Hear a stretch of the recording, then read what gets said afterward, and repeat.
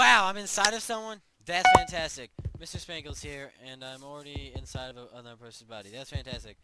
But, let's play some Hunger Games now. Not focus that I was inside of someone, and they felt every part of their body. That was a little bit awkward, guys. Sorry to the younger viewers who had to see that. Ooh, Iron Axe right away. That's fantastic. I'm already getting armor and weapons. Great. I'm gonna go kill people, because that's the point of this game. And I'm a crazy psychopath who loves destroying people.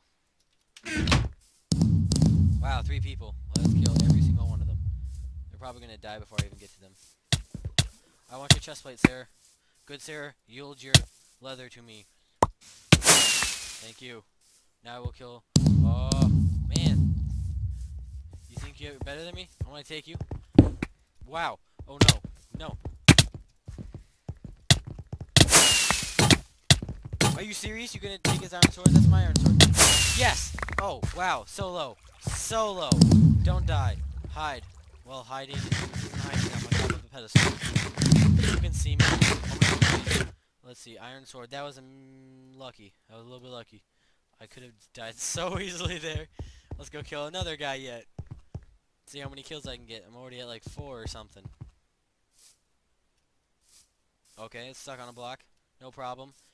Every master at Hunger Games gets stuck on blocks occasionally. Um, Mad Monkey. Monkey, monkey, monkey! I just called that the monkey sneak attack.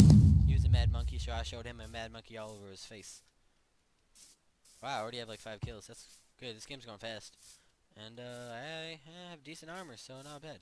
Let's go find some more people. I'm also going to circle around, look far yonder over the vast map at Mineplex. It's a good server. You should try it out if you have never played it. And looking for people.